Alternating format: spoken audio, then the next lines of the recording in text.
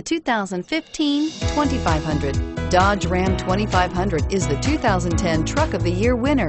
It is the hardest working truck in tow business. This vehicle has less than 25,000 miles. Here are some of this vehicle's great options. Tow hitch, anti-lock braking system, traction control, stability control, keyless entry, Bluetooth, driver airbag, power steering, adjustable steering wheel, cruise If you like it online, you'll love it in your driveway. Take it for a spin today.